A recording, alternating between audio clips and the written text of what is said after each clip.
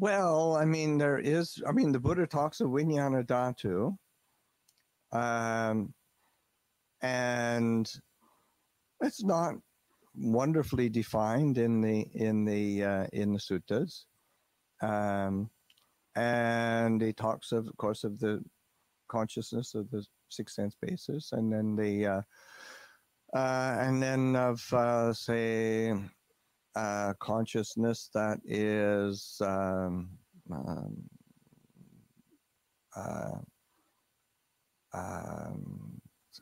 how do you say the Anandhang. Uh, there's it's in a few of the in the Kevaddha Sutta, um, speaking about the the the the kind of unlimited and and radiant all around um, non-manifestative consciousness. Um, so that that's uh, an uh, it's an element of consciousness that or an aspect of consciousness that the that the Buddha points to um, uh, a like universal consciousness I'd shy away from as a as a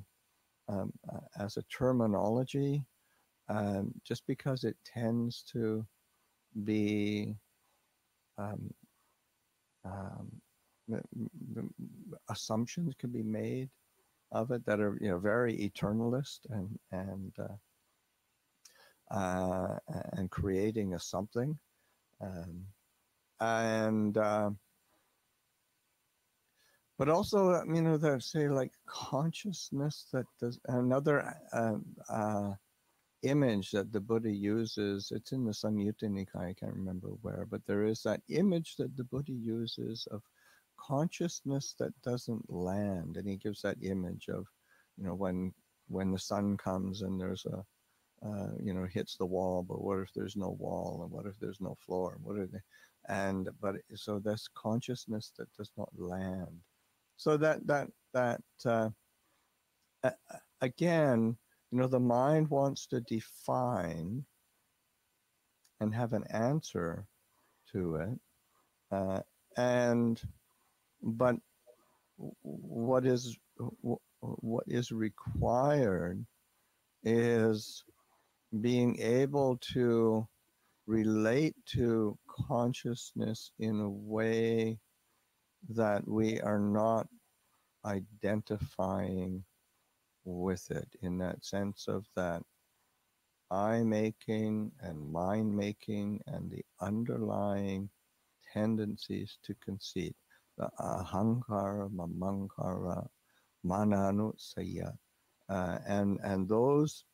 programs of mind keep bringing us back to dukkha. And I think it's it's and the Buddha was brilliant in his. Uh, of course, there, there are these different sort of places where the Buddha kind of speaks of, alludes to consciousness, but more often, what does he keep emphasizing? I teach suffering and the end of suffering. and and and we keep kind of yes, but and, then, and, then, and then, you know, and then we go look for something to get tangled up in, and so that that to be able to be, oh right, dukkha and cessation of the ending of dukkha. Uh, it's it's uh, it, it's such a brilliant and, and to me that is the brilliance of the buddha himself is his ability to cut to the chase of what the heart of the of spiritual aspiration is really about